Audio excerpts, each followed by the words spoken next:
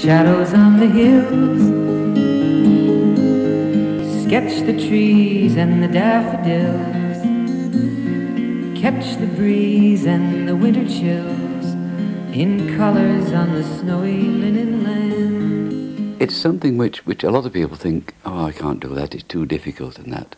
I, I go to lots of places where there are uh, residential homes, uh, people that had never picked up a brush before, and spend a couple of hours with them, starting from the, the basic equipment, and by the end of the period, they've painted a picture which they're delighted with.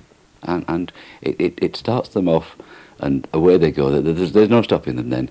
They've got a new hobby for life because age doesn't stop you on this. It, it's no matter how old you are or how infirm you are, you can still paint. Sat at a table with a brush and a few colours, you can create wonderful masterpieces.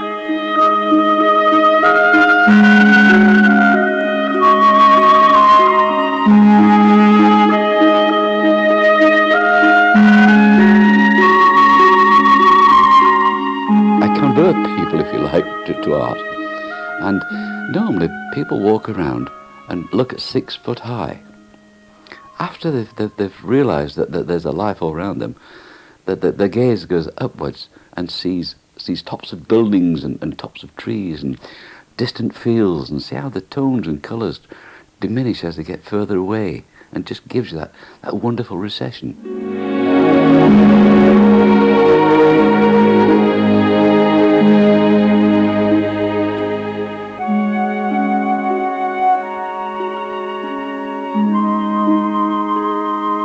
I ask a simple question to, to everyone as, as they just wander around. Just take the trouble to stop and look. It can be a, an old barn door, a, an old water boat, anything that. Just ask the question when they see something. Oh, I like that, and then, what makes me want to paint it? And then concentrate on that. And uh, if maybe it be a, a really dark shadow against a beautiful sunlit building, well, that's fine. Emphasize it even more. Make it special. And just a simple subject like that can make a wonderful painting. I think with, with paint kits, people tend to buy something that, that's as cheap as possible, uh, and it, it's a mistake because if you're wanting to sort of uh, produce some decent work, you, you've got to buy one or two decent paints. I think when we're talking about uh, pans, which is the, the blocks, uh, and tubes, this is, is, a personal choice. I, I personally uh, like the tubes uh, squirted out into a small palette for the simple reason I find it that the, the colour is, is immediately there for me, soft, I can mix into water quickly, and, and I enjoy painting, not mixing. Whereas the, the pans uh, are quite convenient, and you can get a lot of pans in, in, in a small area, and, and you're scrubbing away at the brush with it, and you can get the same result eventually, but, but it's just a personal choice. This is something you have to decide for yourself.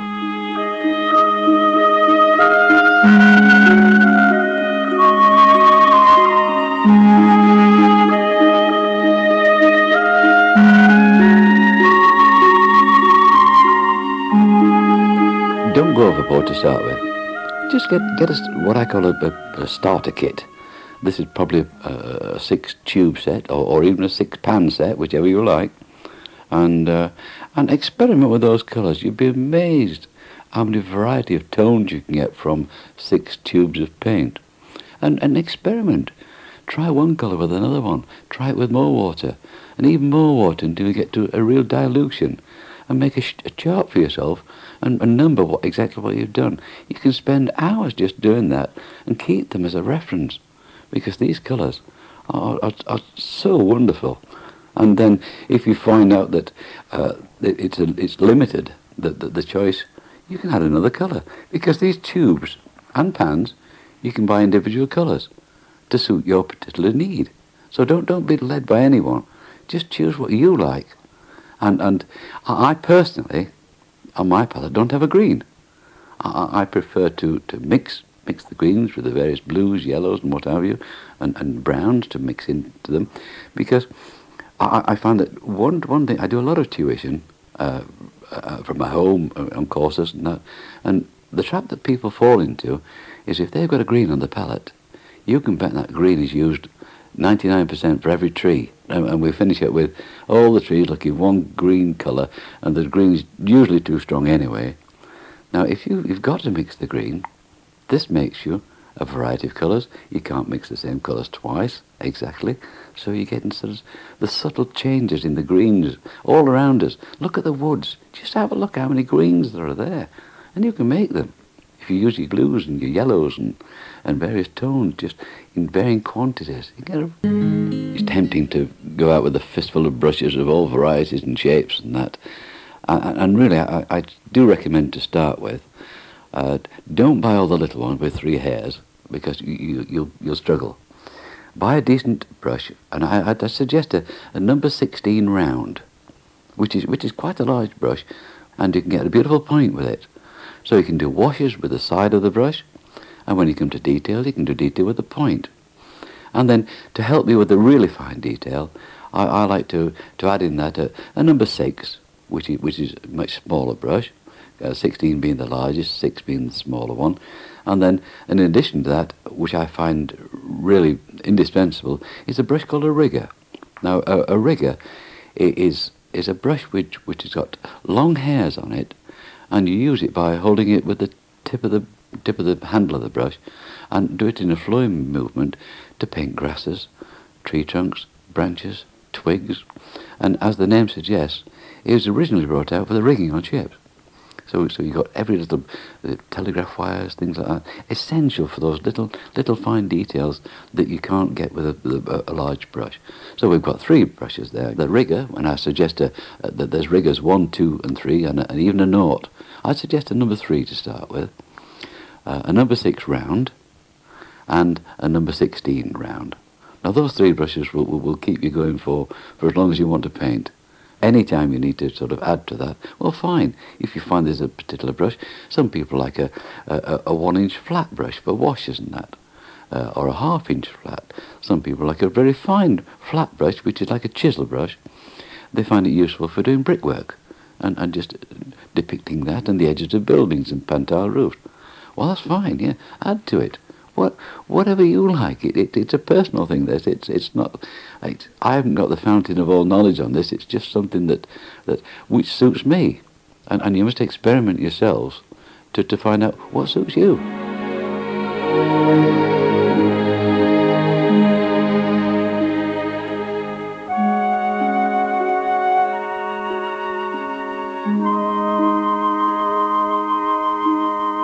Finest quality, of course, is, a brush called a, a Kolinsky sable. Now, the Kolinsky sable comes from uh, up in the top reaches of Siberia, and, and the further north you go, of course, the longer the hairs.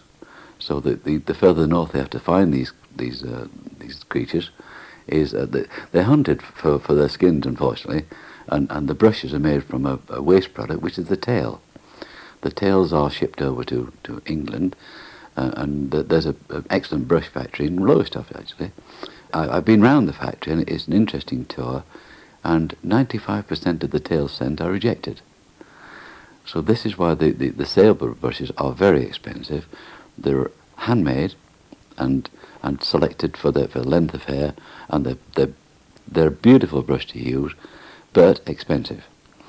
So coming down the scale, the, the next scale is, is, a brush called, uh, it's, it's called Sceptre Gold.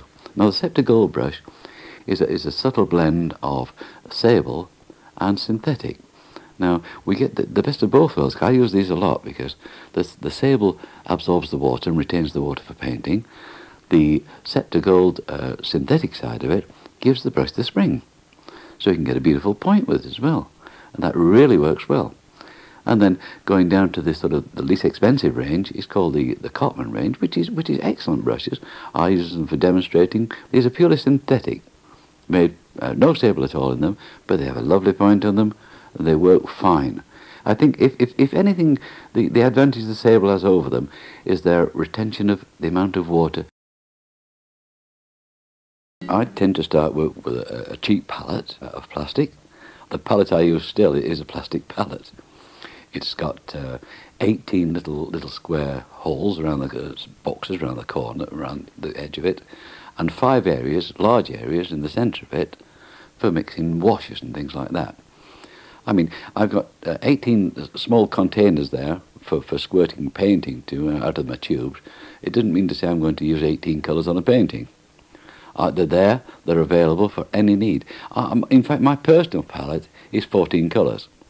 And that 14 colours, no matter where I've been in the world, is on that palette. I can cope with whatever I find. And, and I'm happy with that. And I haven't got a green. I've got uh, four blues. I've got a, a, a Payne's grey with, with an alizarin, sort of a light red, a, a beautiful Winsor red, for lovely, lovely for poppies. Burnt umber, which is a gorgeous deep brown, lovely for mixing with, with a colour called French ultramarine blue to get them subtle greys. A beautiful colour. And, and then we, we, we go further on, we get to raw that's another one, beautiful for stone, for, for uh, Derbyshire stone and, and things like that. And then we get the one called burnt sienna. Now, burnt sienna is a gorgeous uh, autumny tinty colour, which is which is ideal for the autumn tints that we get in, in the, trees around here with a riot of colour. And the Pantale Rouge is wonderful for that. And and a colour called light red, which is all right, light red, not light red, it's brown. But but they make these lovely pantile colours and the, the brickwork and stonework.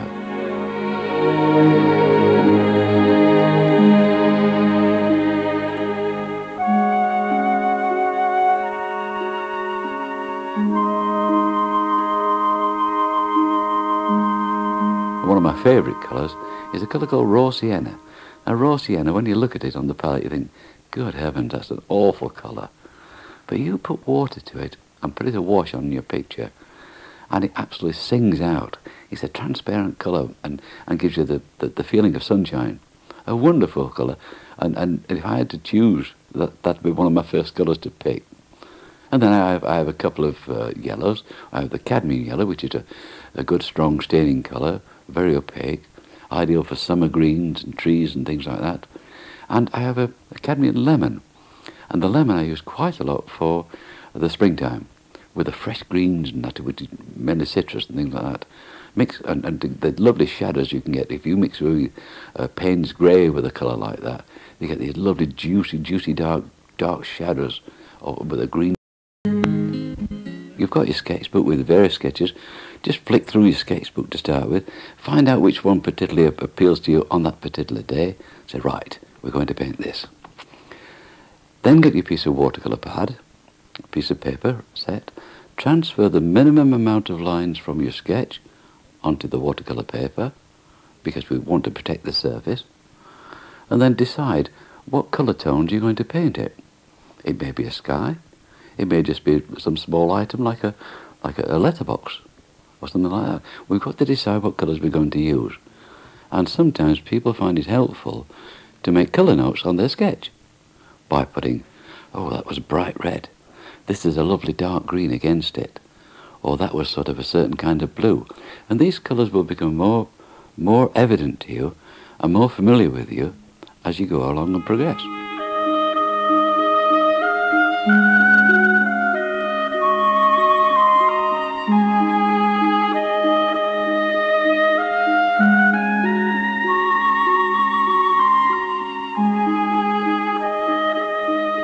You bought sort of a, a basic kit of say six colours, what I, I, suggest the first thing is you, you you get to know how they perform because you want to know what you're going to get on the paper.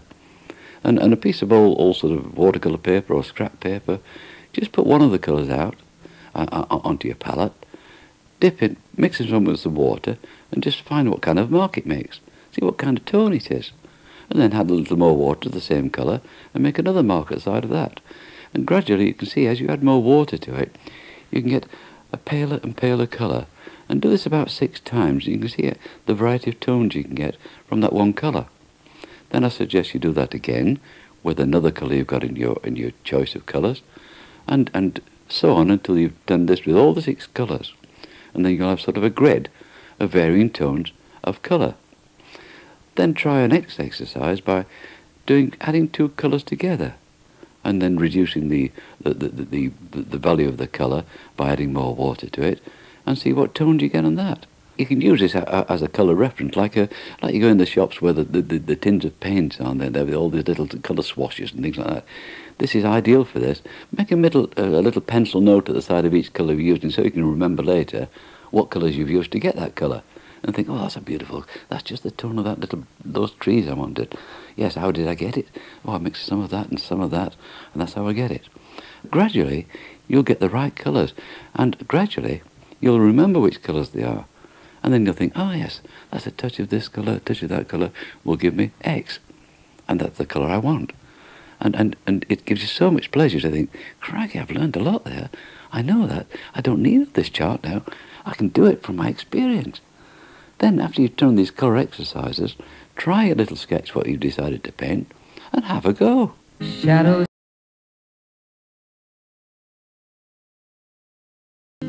Everyone that, that's taking up watercolour should, should have a go at washes. The watercolour wash is the basis of all paintings.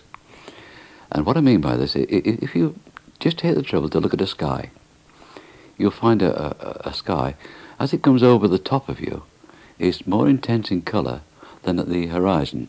We've got a flat piece of paper here, and we've got to create that situation, and the only way we can do it is a method called a, a graded wash.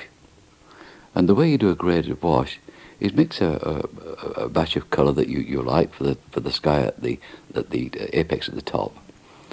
And then as you're sort of getting your piece of watercolour paper, I, I recommend that you work at an angle of about 15 degrees. So prop something under the, under the pad you're using. Get your largest brush you've got, the number 16 round. Dip it in the colour. And from left to right or right to left, depending on what hand you're which is more comfortable to you, put a line of colour across there. Then the next one, add a little, little touch of extra water in there and put another line, but overlapping the last one, so there's no join and, and to be seen, it's just overlapping, it'll be one wash. And the, keep repeating this, but adding a little bit more water each time, until you find at the bottom of the page, you have hardly any colour at all, it's nearly water, but there's just a hint of blue. And whatever you do, don't go back on it. Whatever you've got, leave it. That's what you've got, and you'll have a better picture than touching, uh, touching with a brush afterwards. Go and make a cup of tea or something till it's dry, and then come back and you'll be amazed how it looks that you've got this recession where the, the, the horizon is, is paler than the, than the colour above you. And even from that basic wash there, you can turn it into a little painting if you want. You can put a, a, a silhouette of some buildings at the bottom, or even a field and, and, and a few trees, and, and make a tiny little painting out of it. This is the way it all starts.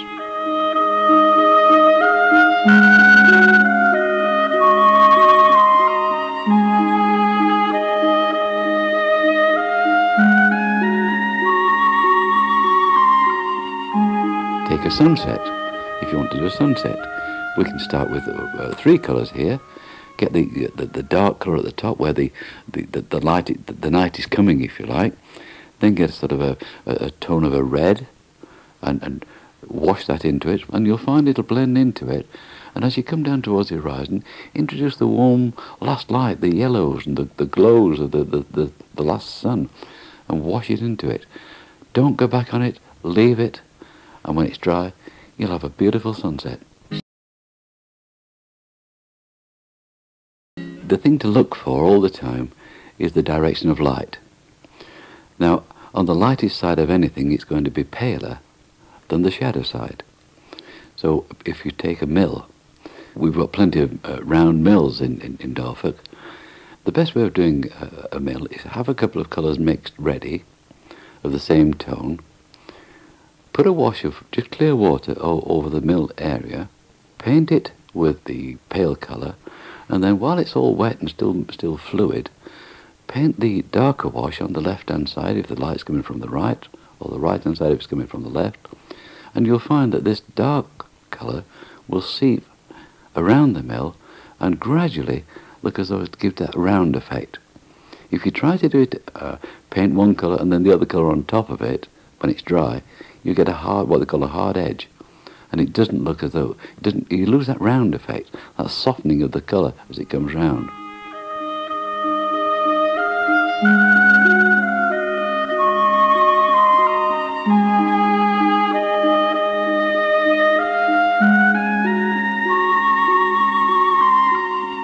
Now, if we're talking about uh, a cube, which most buildings are a cube really, okay, they, they've got uh, points, apexes for roofs and things like that.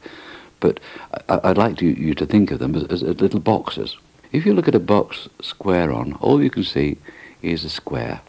Once you start to angle that box so you can see two sides of it, perspective comes into play. And what I mean by perspective is there's a recession from the nearest point to the back of this cube going away from you. And the best way of tackling this is the first line you need to have on a paper is called your eye level or, or the horizon.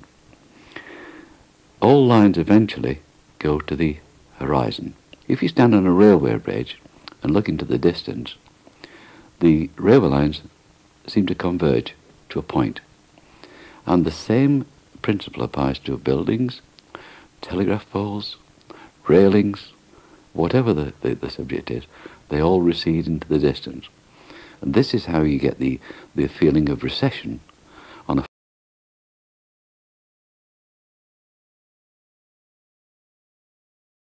The beginner tends to fall into the trap of putting the horizon halfway up the picture, which immediately gives the, the viewer the impression that the picture is cut in half. So we want to avoid that. Let's decide, is it a, is it a, a, a land picture or is it a sky picture? If it's a sky picture with beautiful billowing clouds and lovely storm clouds, we want a low horizon. And, and to make it more dramatic, you'd lower the horizon to at least uh, one third of the picture and two thirds sky, or even more than that, sort of uh, one fifth of, of, of land and four fifths sky to emphasize the massive sky. And it works tremendously well. Once you've decided on, on, on the format of that, Across the picture, if you cut it into thirds, there'll be two points on that picture, one to the left and one to the right, where you should put the main item of your picture, which you've decided is the main item. And that will be the ideal position for it. And emphasize this on, on tone and colour and, and uh, brightness, because everything around it must be subordinate to it to draw the viewer to it.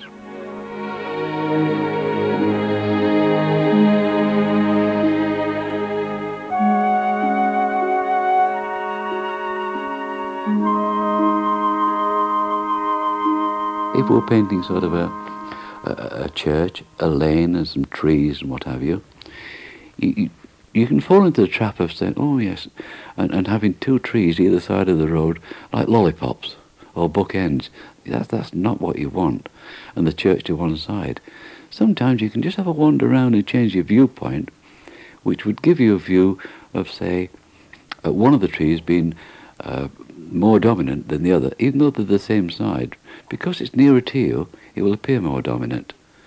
Then the next tree to it, although it's the same size but further away, will appear less important. And we can gradually go into the distance. And we, we, we haven't touched on, on, on tone and, and tonal values yet, but it's, it's using tonal values that, that will recede into the distance.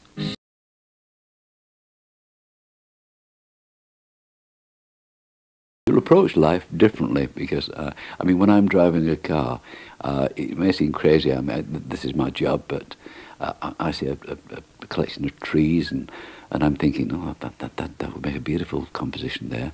And uh, yes, and let me see what, what tone is it, what value is it, what colour is it, or it could be a, a beautiful sunlit church or something like that. And I'm thinking, God, look at that and, and, and I can sometimes stop, make a, a quick scribble note on, on what I've seen, and, and just even on the back of a back of a, an envelope or something, just to get the lights and darks in there, just to, to capture this this picture, which is so important. The luxury is if you've got a camera there, we'll just take the camera.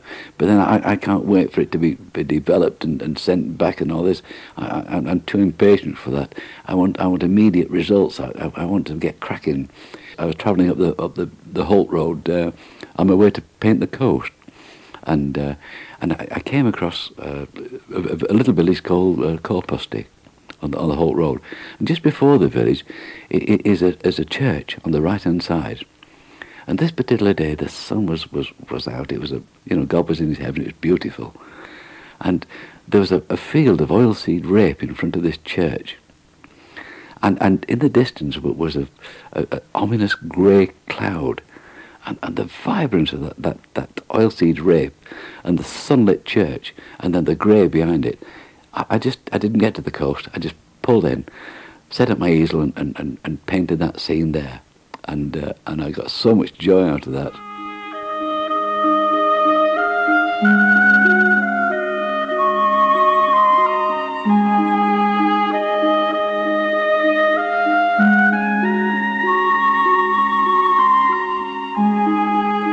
It's all about the inner you. What appeals to me probably doesn't appeal to you.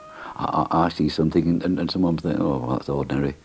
But, but something, I mean, it might, it might be a field of poppies with, with the, the light in, in amongst the corn and that. It could be that that, that that strikes you. It could be a church. It could be a, a person cycling down a lane. It could be a child at play on a beach. It could be anything. It, it's something that triggers in your own mind don't just let it fleet by and go. Just make a, few notes and say, oh yes, the sunlight in the in the child's hair, or or, or the, the, the reflection or, or, on water, or it could be a, a, a, shadow, a particular shadow that's that's extending longer than the building, and just just dapple light across something from a tree. Whatever it is, capture it and record it.